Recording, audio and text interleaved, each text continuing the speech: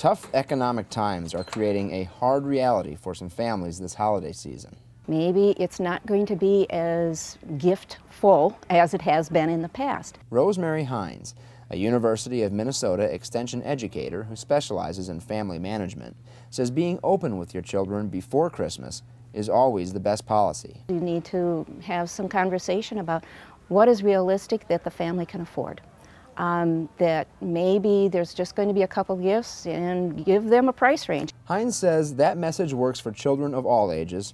For example, a family that celebrates Christmas with younger kids should explain how Santa is also affected by the slow economy and that he might not be able to bring as many gifts.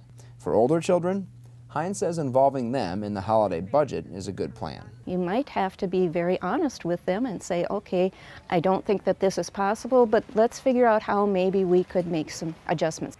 Either something else that's less expensive or can you help pay for this item that you really want. As far as kids are concerned, Heins says you'd be surprised at how well they can understand economic situations.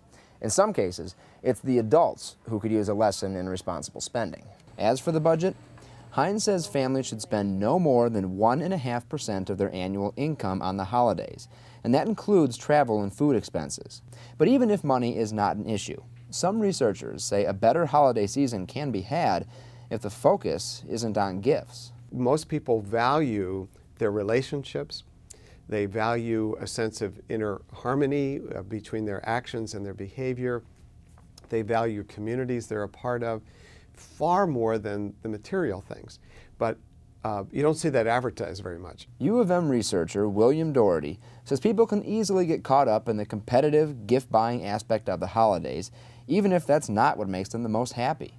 And Heins agrees, saying the number of presents a person receives is not what a person remembers about the holidays. It was the family traditions, it was being together as a family, having fun as a family, and many of these items are no-cost items. For the University of Minnesota, I'm Justin Ware.